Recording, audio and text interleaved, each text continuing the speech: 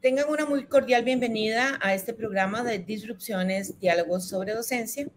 Me acompañan hoy Eugenia Rodríguez Ugalde, quien es eh, coanfitriona en este programa, y Marta Santamaría Marín, que nos acompaña desde México. Hola Eugenia y bienvenida, Marta. Hola, es un gusto. Hola. Hola, mucho gusto. Eugenia y yo vamos a tener el gusto de entrevistar hoy a Marta Santamaría Marín, costarricense, que vive en México. Si vemos la señal un poco retrasada es porque Marta nos está acompañando desde México. Para mí es un gran gusto y un gran honor eh, conversar hoy con Marta. Marta es eh, mi amiga muy querida de hace muchísimos años. Hemos estudiado juntas, hemos trabajado juntas, hemos viajado juntas. Además es una excelente profesional y un ser humano extraordinario. Entonces, Marta, gracias que querés compartir con nosotros tus experiencias. Yo quisiera comenzar eh, pidiéndote que nos contaras sobre un libro que acabas de publicar, que si tenés la portada nos mostraras, nos dijeras el título y nos contaras de qué se trata este libro. Pues ahorita, ahorita se los enseño, lo voy a buscar en el celular, físicamente no lo tengo. Se llama Cáncer de mama, no de alma, porque así como les nos pasa a todos que no, que nos llega una noticia sin saber, me dio cáncer de mama hace 13 años de una manera muy agresiva, muy fuerte. Me volvió a dar en el 2020 en plena pandemia y también me dio cáncer de tiroides. Entonces, decidí contar mi historia para tratar de ayudar o compartir sentimientos, anécdotas, ideas con personas que hayan vivido cáncer o familiares que tengan a alguien con cáncer. Es extraordinario, Marta. Eh, lo primero que tengo que señalar es que con esa historia que nos has contado muy rápido, pero que lleva muchísimos años y que me imagino todas las tribulaciones que hayas pasado, estés tan linda, tan hermosa y tan sonriente. Solo eso me da una enorme esperanza y solo eso sería motivo de de, solamente eso ser el motivo del programa. Pero me gustaría que nos hicieras un poco de resumen o nos contaras, ahí está el libro. Y esta es, y aprovecho porque se llama cáncer de mama, no de alma, y lo voy a presentar el 8 de agosto en Costa Rica, en México, en, en el Centro eh, Cultural Español, se fue, en el Centro Cultural Español a las seis y media. Pero ese es, lo pueden encontrar en Amazon. Decidimos que era más fácil así, entonces el libro está a disposición de quien lo quiera conseguir en Amazon. De hecho, les tengo la, la, premier o la premisa que em, hoy en la mañana vamos a colocar la versión de tapas duras a colores en, Amazon también para que lo puedan conseguir. Eh, y aquí, perdón por extenderme un poquito, pero a raíz de terminar la historia, que creo que quedó bastante bien porque es como estar conversando conmigo, decidí contar las cosas y abrir el corazón con el alma de docente que soy para contar una historia y poder transmitirla con todos los sentimientos y, y los momentos que viví.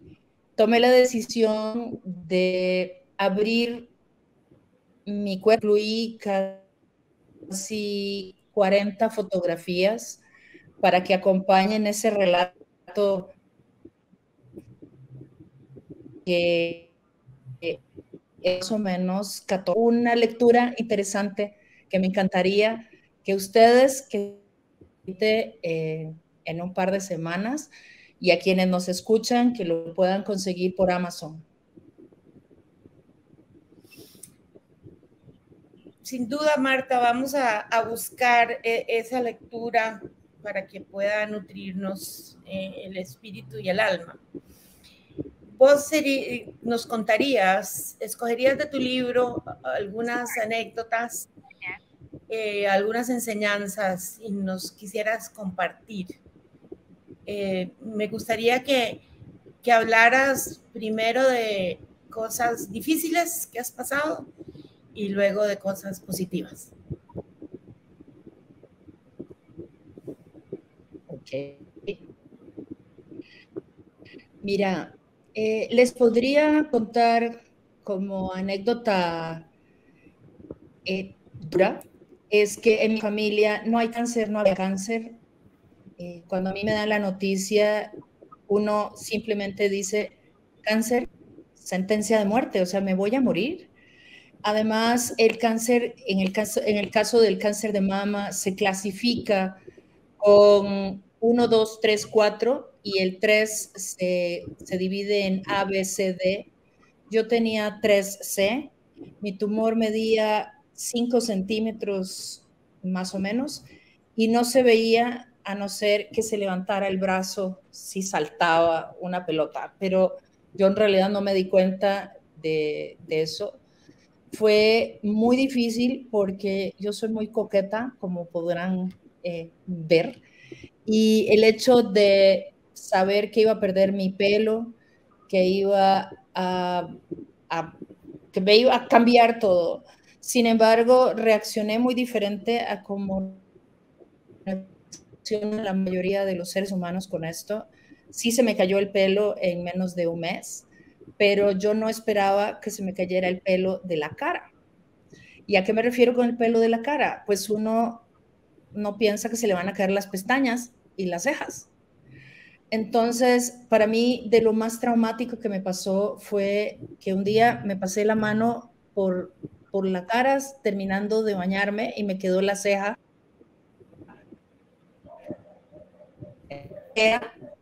la mano. Entonces, pues con la otra mano, y, fue de las cosas más difíciles que, que, me tocó vivir. Creo que, pues en el libro lo podrán ver cómo sucedió, pero en realidad la gente que me conoce sabe que yo no me dejé vencer, nunca me vieron sin una sonrisa, nunca me vieron sin lápiz de labios, sin sin rímel o sin línea en los ojos. Y pensé, yo no me voy a morir.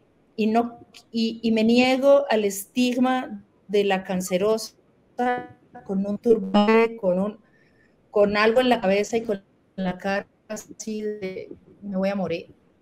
Entonces, les cuento como anécdota que en el hospital fui conocida como la señora del sombrero, porque todos las mascadas, como le dicen aquí, que son las bufandas que yo usaba para decorar mi, mi vestimenta, que tengo que decir que lo heredé de mi adorada amiga Leonora, que siempre me encantaban sus accesorios y cómo se vestía. Entonces tenía aquí bastantes por dicha. Entonces me los ponía en la cabeza y me ponía un sombrero. Entonces déjenme mientras les cuento, les enseño una fotografía que por aquí tengo, que está publicada en el libro también, que tiene que ver con eso que les cuento. Entonces, fui conocida como la señora del sombrero en el hospital porque me negué a andar con eh, turbantes y con y sin nada. Entonces, eh, tuve un look como muy elegante, digámosle así, Déjenme les muestro una foto que no vio nunca nadie. Esta soy yo. Sí. Ya me entienden cuando digo que se ve uno en el espejo y no se parece. Esa era yo. ¿sí? Y esa, eh, pues casi nadie la vio, por dicha. Pero fue una época muy difícil, muy dura. Sin embargo, no dejé que me venciera nunca el, la sensación de que me iba a morir. Siempre estuve como muy clara de que, de que esto no era eh, para mí, de que esto no me tocaba a mí, de que este no era el momento y que ya habría momentos mejores. Ahorita que la encuentre, se las, se las muestro también, porque ya se me perdió.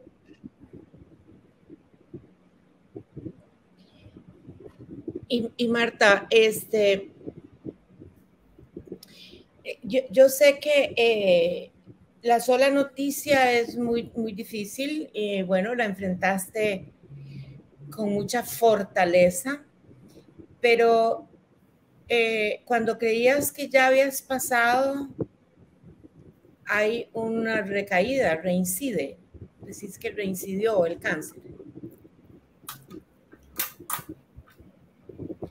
¿Cómo? Sí, yo creo eh, que esa es, mira, esa es tal vez de las noticias más difíciles de manejar porque eh, siempre es, bueno, aquí les muestro una.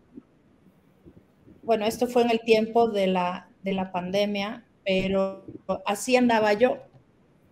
A ver, ahí. Así, aquí. Yo era la señora de los sombreros.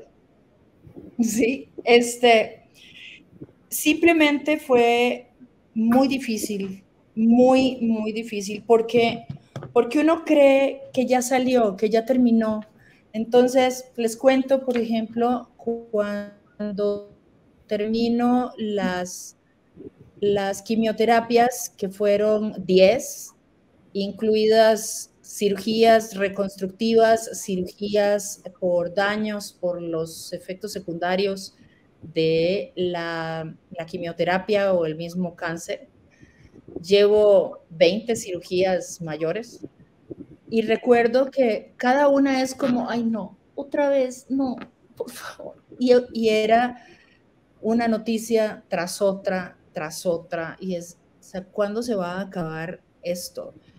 Yo creí por el tratamiento que tomo y que sigo tomando al día de hoy, que es una quimiecita, creí que el cáncer no iba a regresar y siempre me di por, por entendida de que no iba a regresar. De hecho, en plena pandemia, en el 2020, cuando ya cumplía 10 años de tomar tamoxifeno, que es el, el medicamento que se usa para, para suprimir las hormonas femeninas y que el cáncer pues, hormonal, que era el que yo tenía, no regrese.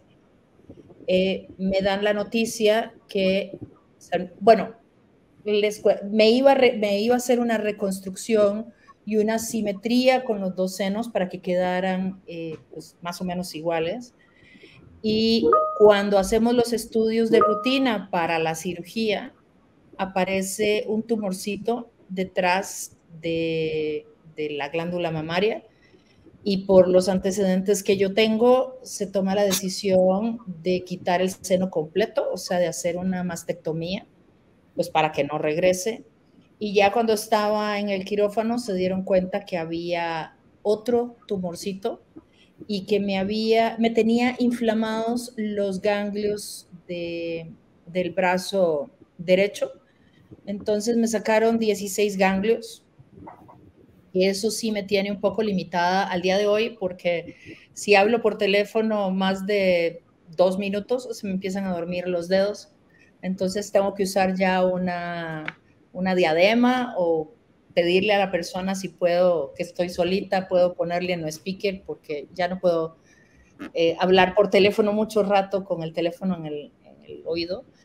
Ha sido aprendizaje tras aprendizaje, ha sido lucha tras lucha pero creo que todavía no me toca. Y eso es mi lema. Ese es uno y el otro que sí se puede. Y si se puede, y yo soy la prueba viviente de que sí se puede. Y ya lo último, que si me ven así, también no se nota y adrede me puse una blusa así, es que el año pasado, en el mes de septiembre, perdón, en el mes de enero del año pasado, en mi chequeo semestral, que yo me chequeo cada seis meses y me tendré que chequear de por vida, en los seis meses apareció un pequeño nodulito en, la tiroides. Empecé a subir mucho de peso, pero yo creí que era producto de pues, la menopausia, ¿no? Y a los seis meses regresé, me dijo el doctor que tenía que hacerme otro estudio de la tiroides porque salían muy alterados los valores. Me hicieron una biopsia y salió que tenía cáncer de tiroides. A veces es una un efecto secundario de las quimioterapias. Pero si ven, pues aquí está la cicatriz.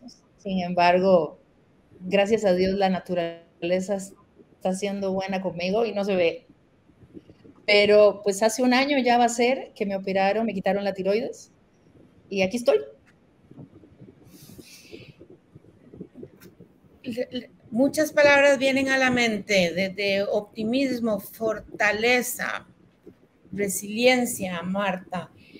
Me gustaría saber si Eugenia tiene alguna pregunta o algún comentario sobre eh, la resiliencia y la importancia de la resiliencia en nuestra vida. Eugenia.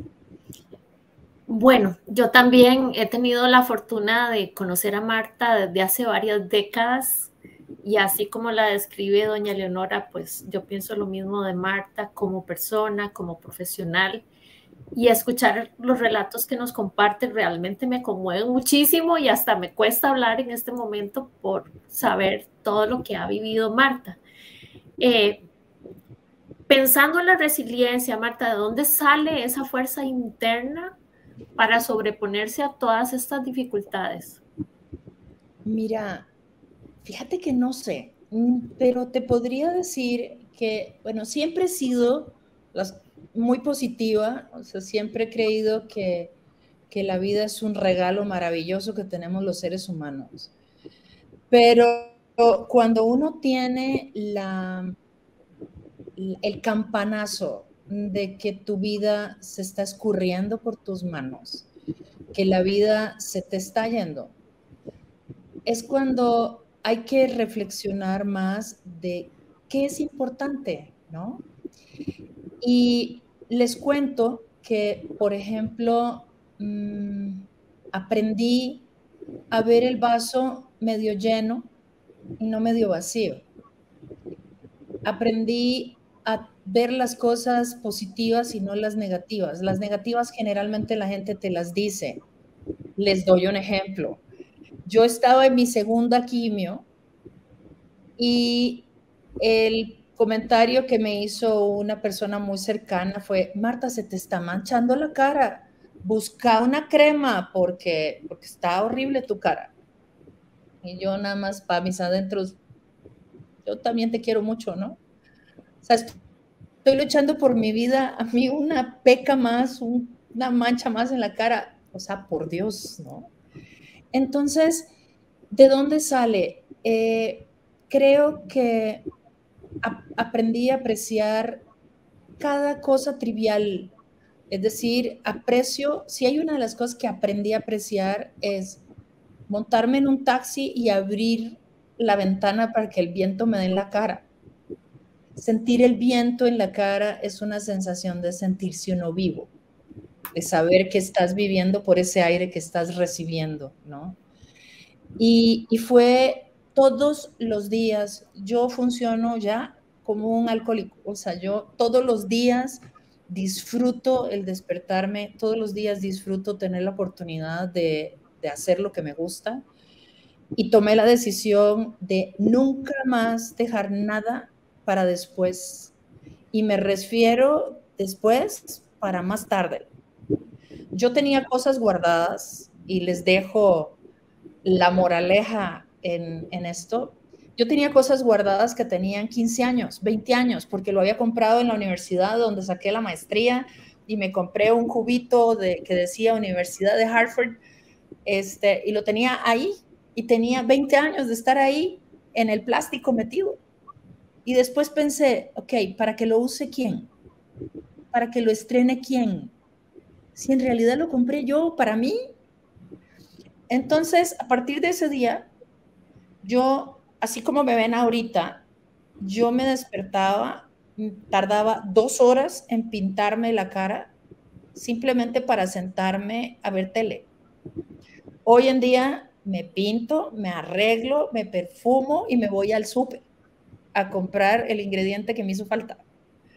Y así vivo. O sea, eh, en realidad lo disfruto, disfruto esas pequeñas cosas, ahorro y, bueno, no ahorro así como para, porque la verdad también digo, bueno, ¿para qué voy a ahorrar para comprarme unos aretes que, que me los voy a poner o no me los voy a poner? Porque si me voy a comprar algo que es carísimo y que me lo van a robar en la esquina y que no me los voy a poner por eso, mejor no me lo compro.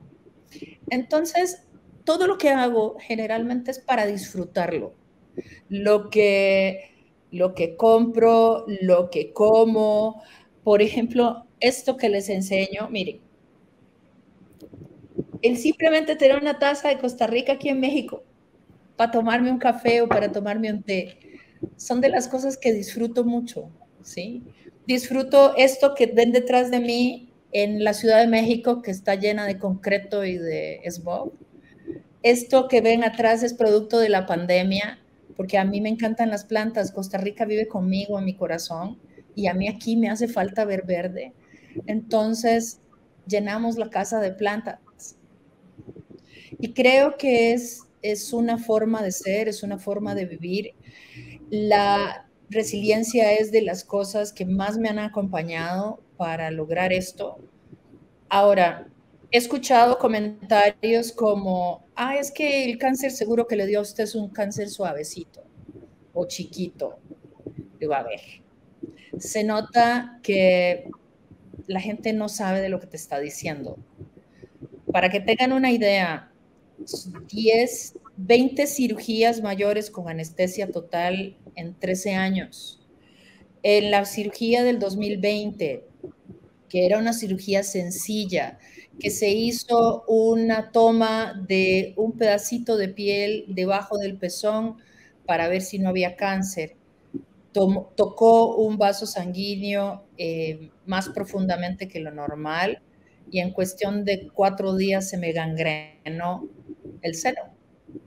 Y en plena pandemia, en un hospital COVID, me tuvieron que operar de emergencia porque el doctor me dijo, si seguís así, se va a desprender el pezón, la aurola y va a quedar expuesta la prótesis. Pero si yo te opero con una cirugía total, la probabilidad de que te dé COVID es muy alta. Entonces vamos a hacer la cirugía ambulatoria. Yo entré a las 6 de la mañana al hospital, me operaron de las 8 de la mañana a las 12 y a las 3 de la tarde estaba en mi casa gracias a Dios, no me dio COVID. Me dio COVID apenas hasta este año en enero. Y fue como una, una gripe mal pegada. O sea, en realidad no me pasó nada. Eh, hoy creo que Dios está conmigo en cada paso que doy. Me ha enseñado también a sacar muchísima fuerza interior. Pero créanme que esto se logra desde aquí y desde aquí. No es externo, es aquí y aquí. Marta, muchísimas gracias por haberte abierto a compartirnos cosas tan, tan, desde adentro.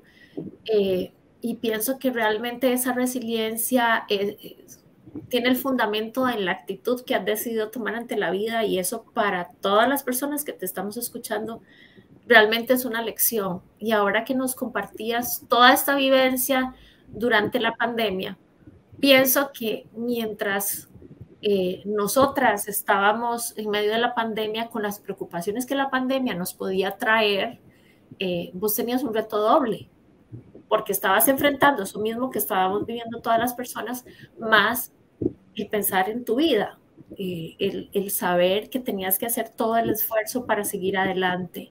Entonces, en lo personal, para mí, esto es toda una lección de vida y te quiero agradecer profundamente por haberlo compartido. Em, Marta, ¿cómo ha recibido la gente tu libro? porque claro, aquí Eugenia y yo estamos muy, muy emocionadas y entendemos la, lección que, primero, tu generosidad de abrir cosas tan profundamente íntimas y la lección que podemos eh, sacar de allí, pero sé que lo has estado presentando. ¿Cómo reacciona la gente?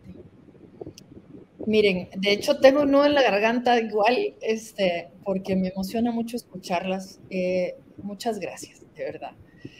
En realidad, eh, no me esperaba una reacción tan, tan bonita, tan impresionante. Lo primero que les quiero contar es que yo no, no sabía que podía escribir eh, y ya me di cuenta que lo puedo hacer y lo puedo hacer bien y eso me alegra porque eso significa que le va a llegar a mucha gente. Lo he compartido con, con amigos, con colegas, con gente que lo ha comprado y la, creo que la, la, iniciativa de incluirle fotos lo hizo más real.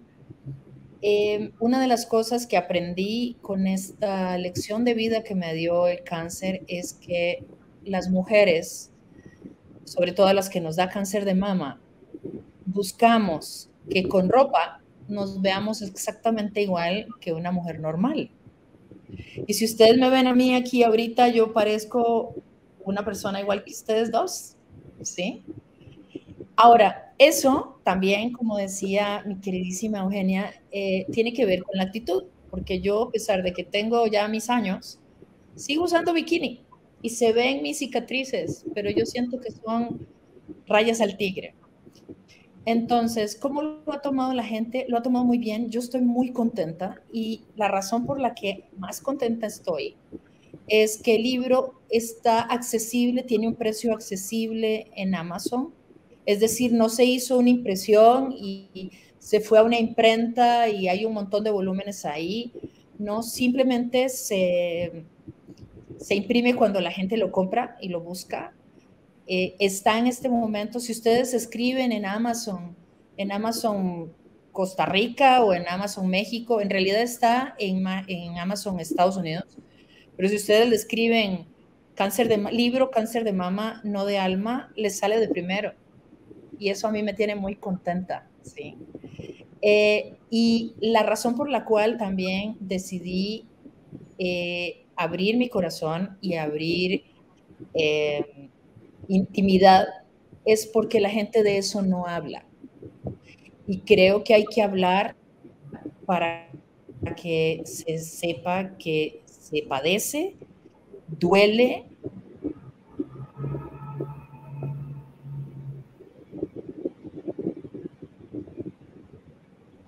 Y Eugenia lo dijo muy bien.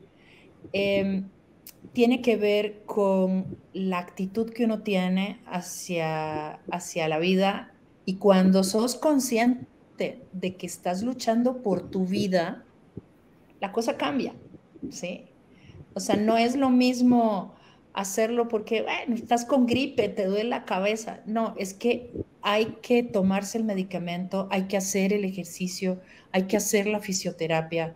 Una que no les conté y que ya lo leerán en el libro también, soy la paciente más joven que tiene mi ortopedista con una prótesis de rodilla. Yo tengo una prótesis de rodilla que me fue además muy mal porque el tamoxifeno, entre los efectos secundarios que tiene, crea adherencias. Entonces, las adherencias, lo que hicieron conmigo fue que la rodilla, que se, pone, se deja así, más o menos, en, encima de una almohada para que se recupere los primeros seis días. Después de que me quitaron la almohada, mi pierna quedó así. Entonces yo ni me podía sentar ni me podía parar. Y el dolor fue realmente espantoso. Ahí sí, para que vean. Yo creí, hubo días en los que yo creí que me iba, o sea, que iba a empezar a, a morirme. Porque llegó un momento en que ya la mente se desconectó de la, del, cuerpo y ahí sí dije, como dicen aquí, en la torre. O sea, con la palabrota que ya se imaginaron, fue cuando yo dije, ahora sí, yo dije, aquí hay que hacer algo, porque si yo sigo así, entonces me van a empezar a fallar los riñones y me van a empezar a fallar los pulmones y me va a empezar a fallar esto y el otro y yo me voy a morir. Si yo sigo así, yo me voy a morir. El sufrimiento era terrible. Para que te hagan una idea, eh, a mí me daban, empecé con un opioide con seis gotitas cada cuatro horas y terminé con ese mismo opioide, pero tomando 27 gotitas y una Tylex, que es paracetamol de 750 miligramos cada cuatro horas y no se me quitaba el dolor. Se bajaba, no se quitaba. No podía sentarme, no podía pararme, no podía caminar sin, sin muletas. Y dije, yo así no quiero vivir. O sea, yo, yo quiero caminar. Esta vida se conoce caminando yo quiero viajar, yo quiero poder ir a alguna parte y poder caminar. Entonces me operaron dos veces más, pero hoy, después de dos años, camino. No puedo brincar, pero yo no quiero brincar. Este, no puedo remar, pero pues, me monto en un barco y que reme otro, ¿no? Eh, entonces, así lo veo uno tiene que ver el vaso medio lleno y no medio vacío y no ver las cosas que no puede hacer, sino las cosas que sí puede hacer. La vida cambia, sí. Este, hay cosas que ya no se pueden hacer, sí, pero hay otras que sí se pueden hacer. Y hay otras que se pueden combinar. Entonces, es cuestión de ponerle fuerza interior. Eso es de, si creen en Dios, que yo sí, eh, agarrarse de Dios, pero no como la salvación, sino que me dé fuerzas a mí para poder salir, porque no es mágico, porque no es de un solo día, es de ser constante. Eso que les digo fueron de la, de la rodilla. Fui a 60 sesiones de fisioterapia durante seis meses. Caminé con andadera, caminé con muletas, caminé con bastón, y hoy no uso ninguno de los tres y me niego a usar alguno de los tres. ¿Qué hago? Bueno, cuando sé que voy a caminar, me pongo una rodillera o me vendo, o si voy a hacer ejercicio, que hago muy poco, pero si voy a hacer ejercicio, me vendo y ya. Entonces sí se puede. Marta, es una extraordinaria lección de vida, de actitud, de fortaleza, y de resiliencia.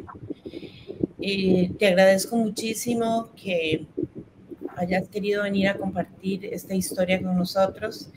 Te esperamos en Costa Rica para la presentación de tu libro el 8 de agosto a las 6 de la tarde en el Centro Español. En el Centro Español es, sí. Eh, para poder eh, abrazarte y también para poder compartir con vos más de estas experiencias. Em, me parece que todas las personas que podamos escucharte tenemos muchísimo que aprender de vos y en particular las personas que que ven y que siguen el programa de disrupciones, diálogos sobre docencia. Eh, eh, creo que es de muchísimo interés porque este programa es sobre aprendizaje. Y aquí se demuestra lo que has aprendido vos. Eh, en este momento yo soy testigo. He aprendido muchísimo, estoy segura que Eugenia también, y espero que también todas las personas que van a ver este programa puedan aprender de la vida, de la fortaleza, de la resiliencia, de la actitud. Muchas gracias, Marta. Te esperamos en Costa Rica. Gracias. gracias. Gracias, nos vemos pronto. Muy feliz. Y a ustedes, muchas gracias por acompañarnos en este nuevo programa de Disrupciones, Diálogo sobre Docencia y nos vemos en la próxima.